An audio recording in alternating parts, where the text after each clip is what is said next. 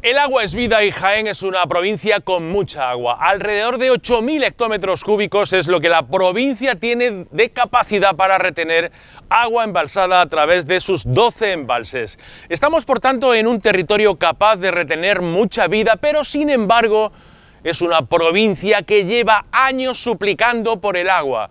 Agua para su agricultura, agua para su olivar un olivar que originalmente se plantó de secano, pero que las, las exigencias de hoy en día de producción han hecho que los olivareros hayan tenido que invertir millones de euros en poner de regadío sus olivos y que muchos de ellos, miles de hectáreas todavía, tienen que estar tienen que estar esperando a que la administración competente les regularice una situación precaria de concesiones que nunca llegan.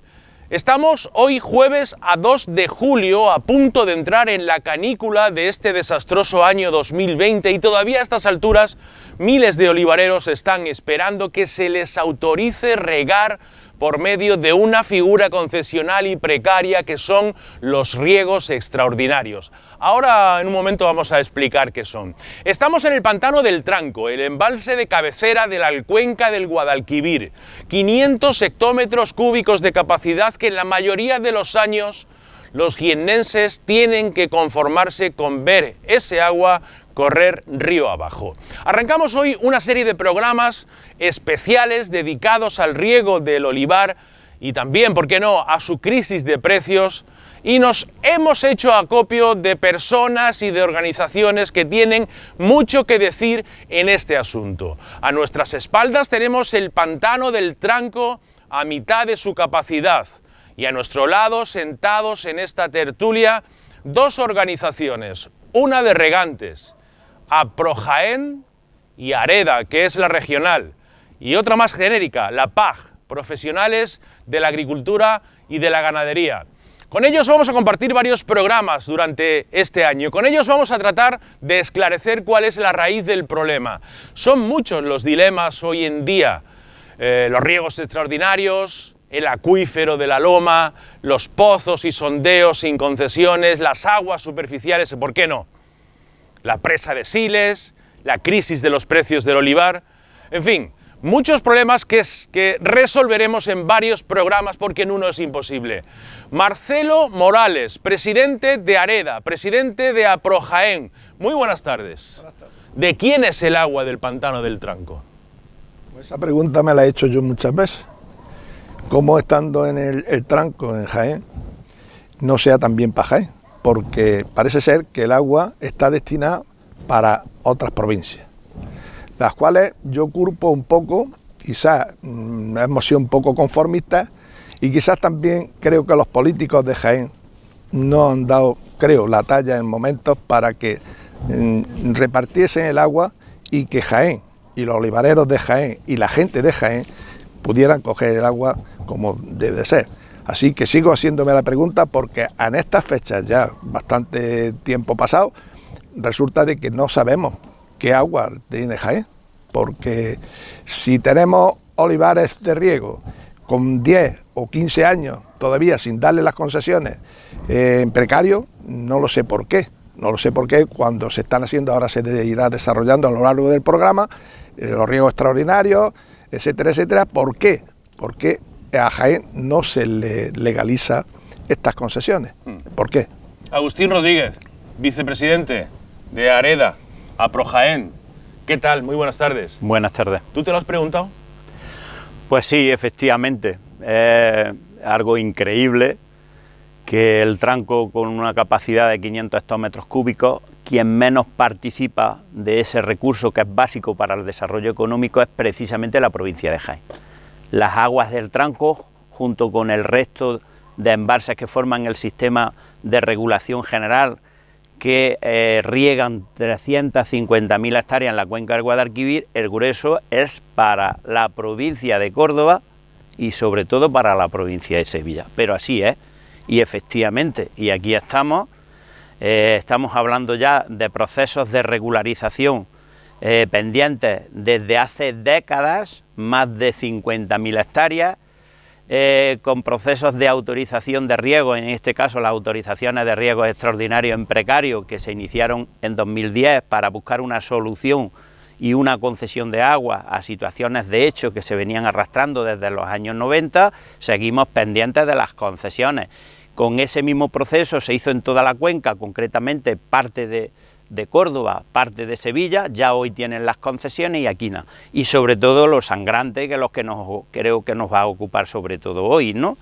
Y es que estamos a 2 de julio y todavía no han llegado las autorizaciones de riego extraordinario para la presente campaña. Lo he dicho yo al principio del programa, los riegos extraordinarios es una figura, una figura en precario, una figura inventada, como tú dices, en el 2010, Inventada legalmente. claro, eh, para eso, eh, a eso iba, para legalmente poder regar, pero claro, para poder regar legalmente tienes que esperar una autorización que hay que renovarse año tras año y que en la mayoría de los casos los, las comunidades que tienen esa concesión de riego en precario, de riegos extraordinarios, tienen que esperar a que la Confederación, cuando ellos crean oportuno, dárselo o, por el contrario, arriesgarse a coger ese, a abrir el grifo antes de tiempo y que les caiga una gran y una enorme sanción. ¿Es así o no? Es así. Así es. Además, además tengo que, decir una cosa. No se puede entender cuando esto llevamos más de 10 años, es decir, los riesgos extraordinarios salieron en el 2010, no estamos en el 2020, 10 años. Nadie ha entrado después del 2015, nadie ha entrado. Nadie ha entrado. Es decir, ¿Cómo no se tienen las resoluciones supuesto cuando llega la Junta de Desembarse? Ya están todas, o la mayoría están ya en confederación. ¿Cómo se tarda ahora dos meses en dar la, resolución? ¿Cómo se tarda? Si ya tenemos, no es una cosa nueva, cuando es una cosa nueva habría que preguntar, etcétera, etcétera, pero esta gente está regando desde 2010. Si esta gente está regando desde 2010, ¿qué es lo que pasa? Para que llegue Confederación y ahora, cuando es necesaria el agua, ¿cuándo piensan dar el agua? ¿En septiembre? No, el agua se necesita ahora porque la oliva necesita ahora agua para el hueso. Pero lo que estás diciendo, Marcelo, que eso es comprensible para cualquier mente humana, incluso con coeficiente intelectual bajo. Eso que estás diciendo, fíjate qué razonable es. Si ya en el 2010 me dijiste que tengo agua, ¿cómo, cómo puede ser que estemos, sigamos 10 años con la misma figura y con el mismo problema. ¿De quién es la culpa? Porque aquí alguien tendrá la culpa, digo yo. Agustín, Marcelo. Está claro.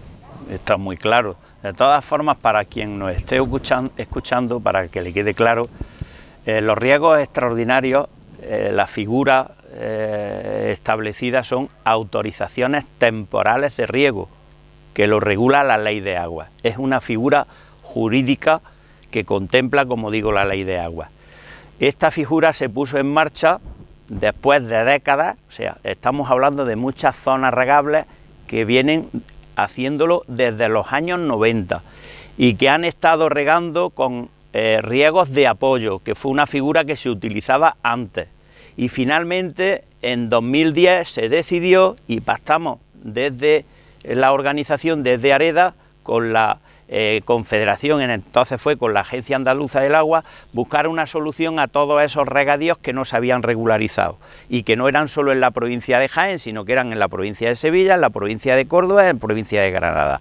Se legalizaron con esa figura de los riesgos extraordinarios cuando se empezaron a dar en 2010 en Sevilla y en Córdoba y aquí siguen pendientes. Por tanto, la figura es legal 100%, que quede claro. Es más, las resoluciones que vienen anualmente con las autorizaciones de riego extraordinario pagan su correspondiente canon de, riego, o sea, estamos hablando de la legalidad, que es algo que confunde la Confederación.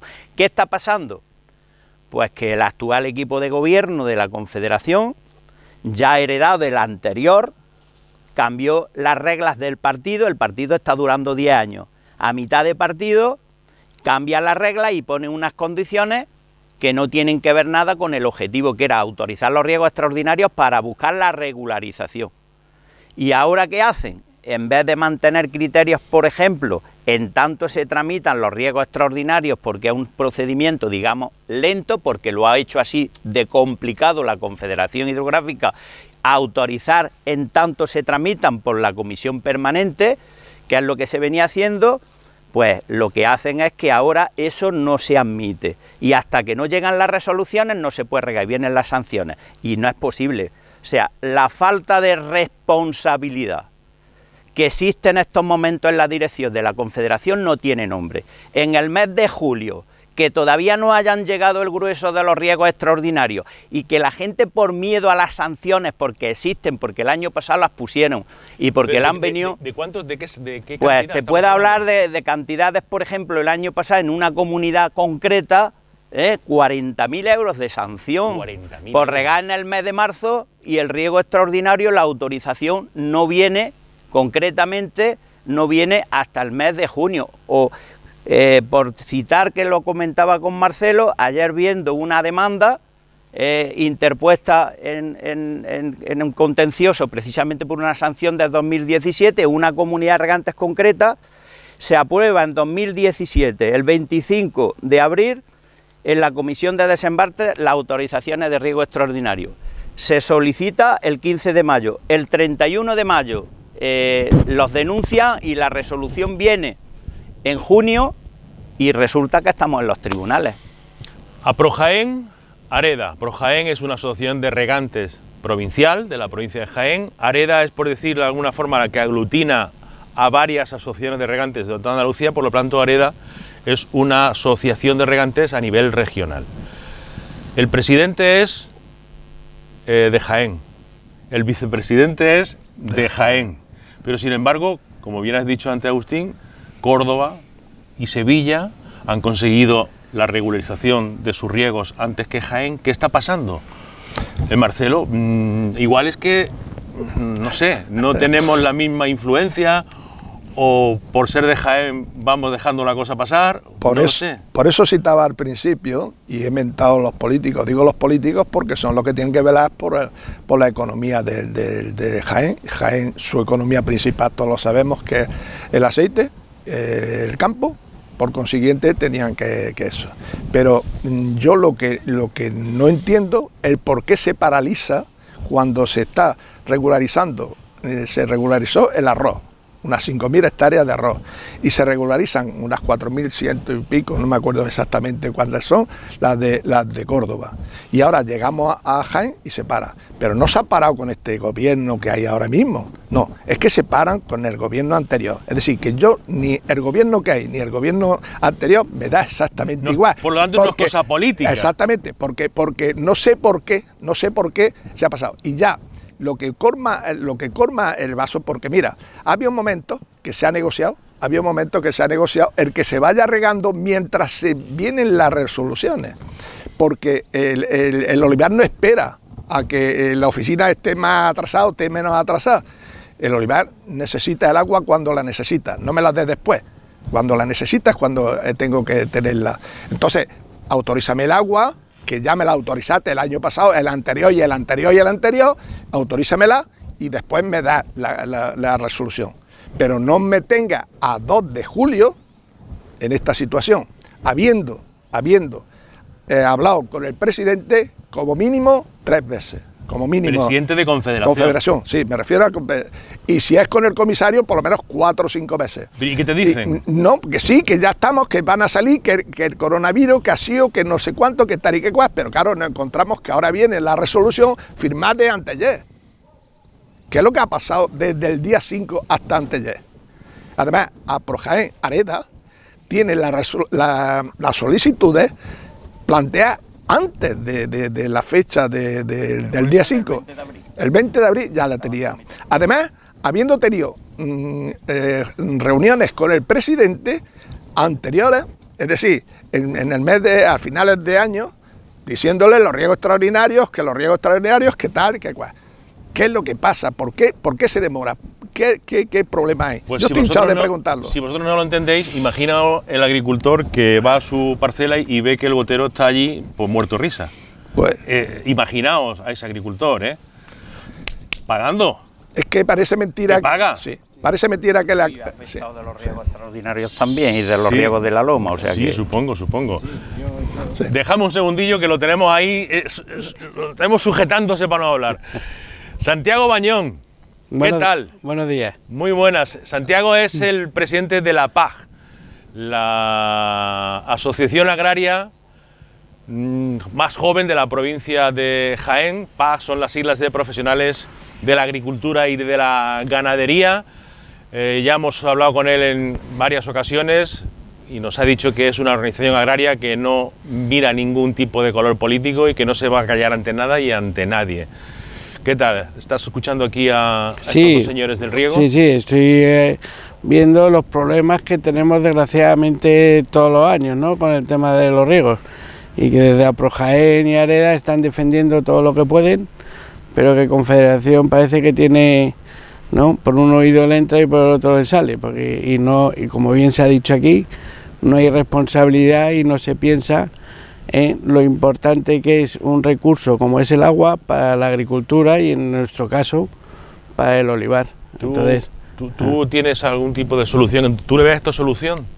al precio del aceite, pues No, sí. No, no, no, a- al tema del regadío. Ahora hablamos ah, del bueno, eh, tanto Marcelo como, como Agustín entienden porque son los que están peleando eh, incansablemente día a día con- desde las organizaciones. Eh, solución queriendo, claro que hay. Pero yo lo que veo desde sufridor, digamos, desde agricultor sufridor, es que eh, las cosas están muy claras, pero que parece que es que no se quiere eh, ser responsable y no se quiere ayudar, ¿no? Porque agua hay, agua, eh, lo que se está pidiendo es, bueno, que se pueda regar y lo que es incomprensible, como se ha dicho aquí, es que después de dos meses autorizados los riegos extraordinarios, todavía no han llegado. Entonces eso, para mí, desde fuera, es un poco de dejadez, ¿no? Y, y no ponerse en la situación del agricultor, que, que es un la, bien... la empatía esa de, del que está en un despacho eh, sabiendo que el que está sufriendo y sudando es el agricultor Claro, que, que es- no le llega el agua. y que necesita ese Hace agua. falta un poco de empatía, pero claro, es que son muchos años pasando gente por esos despachos y ninguno tiene empatía. Sí, sí, ya no es el tema que también es importante, el tema de la regularización de los riegos en Jaén, cuando en Córdoba y Sevilla sí están regularizados los riegos, es que el agua que sí se reconoce de Confederación que se puede utilizar, no firmen las concesiones y las autorizaciones para poder utilizarla, eso que ya reconocen ellos que sí se puede utilizar. ¿no? Sí, sí. Agustín o Marcelo, creo que la provincia de Jaén tiene almacenada agua en torno a los 2.400 hectómetros cúbicos, ¿puede ser? Sí, la capacidad de la provincia de Jaén, de los embalses de la provincia de Jaén, eh, rozan los 2.400 hectómetros cúbicos de capacidad en sus diferentes embalses. Vale, eh, ¿cuánta agua necesita eh, la provincia de Jaén para satisfacerse en sus necesidades? Nosotros tenemos un cálculo hecho que dependiendo del año también, como venga, pero que puede estar en un máximo de 300 hectómetros cúbicos el agua 300, 300. de 2.400. Sí, y tienes, por ejemplo, la provincia de Sevilla, eh, y a modo de ejemplo, para que se entienda, solo el cultivo del arroz en la provincia de Sevilla supera los 400 hectómetros cúbicos. Hostia, o qué- sea que qué barbaridad. el desequilibrio territorial que hay, esta es una de las cuestiones que estamos planteando en el Acuerdo Andaluz por el Agua, no tiene nombre. O sea, eh, la provincia de Jaén es productora de agua neta, lo mismo que es de aceite de oliva, productora de agua, sin embargo, no participa ni guarda relación. La provincia de Sevilla no llega a una capacidad de mil hectómetros cúbicos, o sea, muy por debajo de la provincia de Jaén, y sin embargo participa hasta cinco y seis veces más de las dotaciones de agua, sea de agua que esta provincia, y el agua es un recurso Vale, público. Pero 300, sí, Marcelo, 300 hectómetros cúbicos es lo que necesitaría. ¿Pero qué estamos consumiendo? Bueno, estamos, eh, es lo que necesitamos y a lo mejor en ocasiones lo consumimos. En ocasiones los consumimos. Aquí no consumimos mucho más nunca. ¿Por qué? Porque estamos muy limitados. Tened en cuenta que la hectárea aquí son 1.500 metros cúbicos el olivar. Mm. La mayoría del olivar. Algunos tienen riesgos más 2.000, 2.500 o 3.000, incluso algunos. Pero aquí el problema donde está es que mm, mm, nosotros estaríamos de acuerdo que el agua se reparta, que se reparta, esté en Sevilla, esté en Córdoba, esté donde esté. Pero lo que no se puede es discriminar Jaén. ¿Eh? Con unas hectáreas que tiene de regadío y que todavía a la altura que estamos, que no se haya regularizado.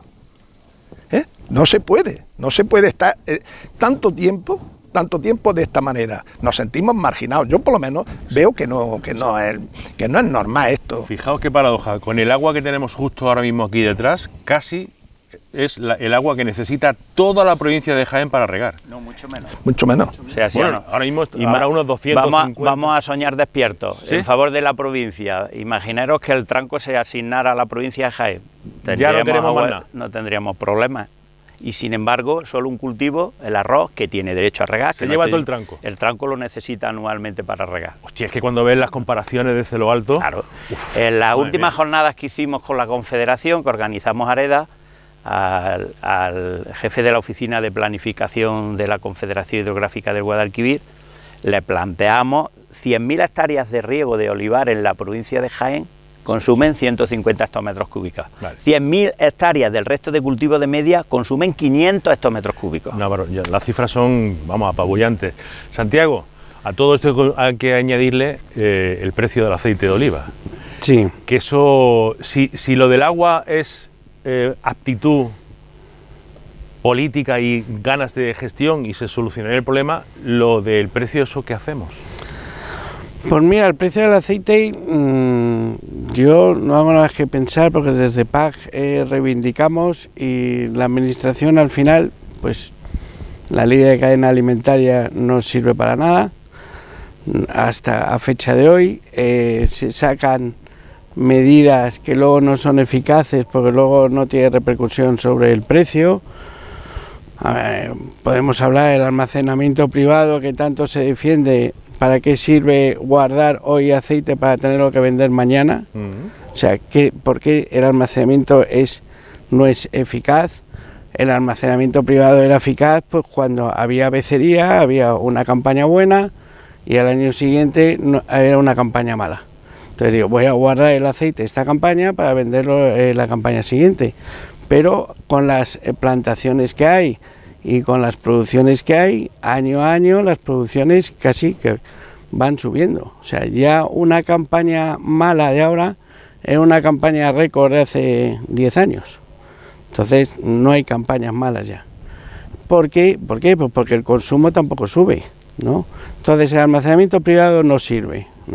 Eh, el tema de que el aceite, ahora la, eh, la reforma que hay de la modificación del Real Decreto de calidad, que se quiere prohibir envasar en plástico el virgen extra y el virgen.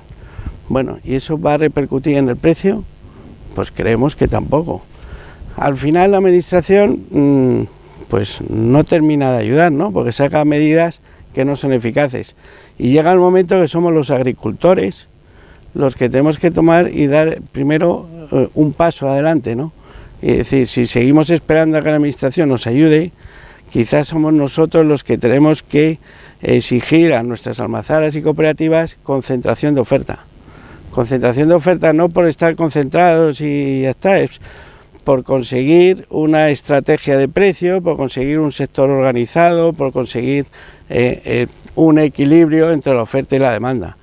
Un equilibrio que no puede haber ahora mismo 1.500 eh, vendiendo y 30 o 40 comprando. Entonces, ahí hay un problema que es la concentración de la oferta. Tú eres uno de los 1.500. Tú tienes una almazara privada sí. que la dedicas a la producción tuya propia, más otros olivareros de la provincia que eh, a través de ti lo hacen, ¿no? yo, tengo, yo personalmente tengo una almazara privada que compramos aceituna, que intentamos vender el aceite lo mejor posible para todos los agricultores que nos traen su aceituna eh, y estamos dentro de un grupo de concentración de oferta que es Interóleo. Pero de los 1.827 almazaras y cooperativas que hay, 300, un poco más, son las que están agrupadas en un grupo de concentración de oferta. Pero eh, es las almazaras y cooperativas que están en algún grupo de concentración de ofertas son el 29% ¿eh? respecto al total. Es decir, el 71% todavía van por libre, una a una. Entonces, esos grupos de concentración de oferta que hay ahora no tienen volumen suficiente para poder organizarse y tener influencia en el mercado para poder defender los precios. Entiendo que si estás dentro de un grupo de comercialización, a ti sí te escapa la comercialización directa, ¿no? La haces a través del grupo. Eh, lo que es la venta a granel, sí, luego ya cada uno tenemos nuestra marca de envasado. Iba a preguntar, eh, claro, en la ley de la cadena alimentaria hay un artículo que es fundamental y que es prioritario, que si se cumple estaría todo resuelto, y es que se impide vender el aceite por debajo de los precios de producción. Sí pero se sigue vendiendo por debajo de los precios de producción, sí. con el beneplácito del que compra, que se viva la pepa, pero también con el beneplácito del que vende. A ver, eh, esa es otra normativa que se ha sacado, ¿no? Ahora que se prohíbe vender por debajo de los costes de producción, pero no se establecen cuáles son los costes de producción. O sea, qué costes de producción tiene un olivar de regadío, qué coste de producción tiene un olivar de secano. ¿Quién le pone el cascabel al gato? ¿Qué coste? Pero bueno, si sacas una normativa es para que pueda ser aplicable. Si sacas una normativa y el sector no hace nada más que dar vueltas, es que no es aplicable. ¿Cuál es el precio de coste de producción? Es que pues, según lo apañado que sea en la recolección. No, según, el año, según, claro. según el, donde tengas el, el, olivar. Pero por eso digo que quién, que quién lo, lo, marca eso, ¿Quién, quién sea el responsable de marcarlo, la administración, el agricultor, el comprador, quién, quién pone eso. Pues tendría que regularlo la administración y llegar y decir, este es el coste de producción. Pero y hasta aquí hemos llegado, señor, pero, es muy, pero es muy difícil porque hay muchas variables hay muchos eh, olivares. ¿Y entonces de qué sirve poner eso? Pues para nada. Ahora mismo no sirve para nada, no sirve para nada. No sirve para nada. Sí. Sí, la verdad es que hemos llegado a una situación que yo calificaría de falta de responsabilidad y de absurda, ¿no? Porque claro, eh, reformar la ley de la cadena alimentaria, que había que reformarla, que nosotros lo planteamos ya en las manifestaciones de mayo del año pasado, y sacar una reforma que no tiene aplicación porque efectivamente hay que cubrir los costes de producción. Primero hay que decir que este es un sector económico como otro cualquiera y hay que cubrir los costes de producción pero también tener beneficios. No estamos aquí solo para cubrir los costes de producción. Pero claro, ¿cuáles son los costes de producción? Entonces la cosa es muy grave cuando se saca una norma donde no se especifica cuál es realmente el coste de producción a sabiendas de que no se puede hacer. ¿Por qué no hay coste de producción concreto en la reforma de la ley de la cadena alimentaria? Porque Bruselas no lo permite y porque la transferencia de la agricultura la tiene Bruselas y Bruselas además está dentro de la Organización Mundial del Comercio y no se permiten precios ni de producción ni de origen. ¿Por qué no se le dice a la gente las cosas claras? ¿Por qué se está llevando esto un engaño colectivo para decir que hay que cubrir los costes de producción? Vale, póngamelo usted en el boletín oficial del Estado. O sea, no los ponen porque no pueden ponerlo. Porque no pueden, y lo saben que no pueden, y lo saben todos los que están negociando esto. Es que hay que decirlo claro, hay un engaño colectivo a los el pelo. Nos están tomando el pelo. A todos. Nos están tomando el pelo, lo mismo que nos están tomando el pelo con el almacenamiento privado. Ya se dijo hace muchos años que el almacenamiento privado no tiene efectos porque es un mecanismo obsoleto, ya no funciona. Lo ha explicado perfectamente Santiago. Y sin embargo se sigue defendiendo el, almacenamiento privado. Eso es el grueso de la negociación. Bueno, pues que todo el mundo sepa que desde que se inició el almacenamiento privado ha bajado de medio a 30 céntimos el kilo de aceite de oliva. O sea, ¿cuáles son los efectos? Aquí hace, hay un mecanismo, si esto es copiar lo que ha hecho la distribución, la distribución en estos 20 años desde que se aplicó la reforma de la Agenda 2000, o sea, que el mercado fuera por libre y que no hubiera mecanismos de ningún tipo, la distribución se ha organizado. Y unos cuantos controlan y tienen una cuota de mercado de más del 70%. Y nosotros estamos dispersos. Pues tenemos que organizar la oferta para poder hablar de tú a tú y poder negociar. Además, los reglamentos comunitarios lo, explican muy bien. Se trata de una negociación de fuerza hmm. en la conformación del precio y eso solo se puede hacer con empresas, con dimensión, concentrando la oferta y promocionando para que suba el consumo, pero promocionando para garantizar precios rentables. Rentables. lo de justicia es de...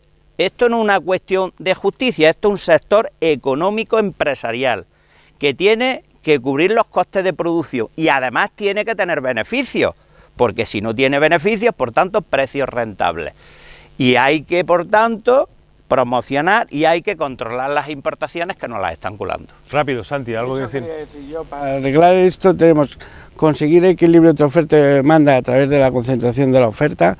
Voy a ir rápido y resumiendo porque no sé cómo vamos de tiempo hay que promocionar para subir el consumo, que todavía somos el 2 o el 3% del consumo mundial de las grasas comestibles.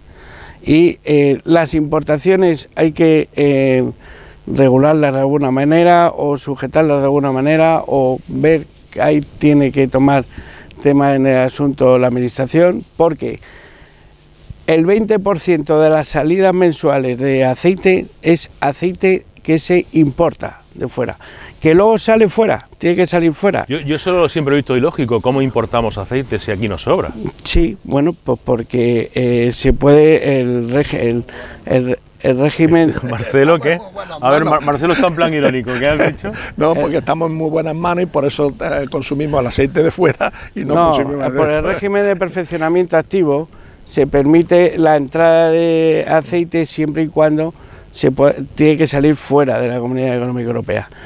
Pero eh, eso habrá que modificarlo y habrá que regularlo de otra manera, porque si efectivamente aquí sobrando aceite, eh, el 20% del aceite que sale mm. mensual es de aceite de fuera de, del territorio español. En fin, eh, es que se nos va el tiempo. No, termina. y, nada, eso es lo que quería decir. vale, vale. El 16 de abril denunciábamos en estos mismos micrófonos precisamente lo de las importaciones, para que todo el mundo lo entienda. ¿Cómo es posible que con los precios de aceite de oliva en origen más bajos prácticamente de la historia, las importaciones se han duplicado? ¿Por qué compran fuera y no compran aquí? O sea, ¿tiene que venir eh, aceite de fuera? Pues sí tendrá que venir, porque nosotros exportamos mucho. Ahora bien, tenemos unos eh, grandes envasadores, unos patriotas, que lo que se dedican es a comprar fuera, sobre todo en vez de comprar dentro. Entonces, claro, ese es el problema que tenemos. Si hemos doblado las importaciones, pues resulta que no va a seguir sobrando aceite porque se compra primero fuera a los precios que tenemos, algo que no tiene sentido ni es comprensible teniendo en cuenta los precios en origen que tenemos.